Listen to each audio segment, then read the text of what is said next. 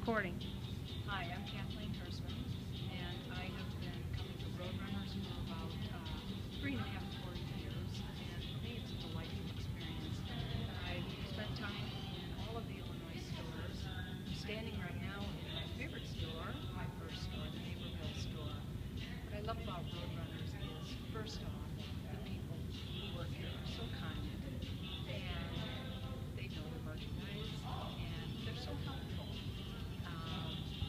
love buying my shoes here because the selection is wonderful. And uh, on occasion, I've brought shoes home that didn't feel so good coming out of home. And brothers have been great about uh, uh, letting me take them back in a, a different pair of shoes. Um, the Roadrunner clothes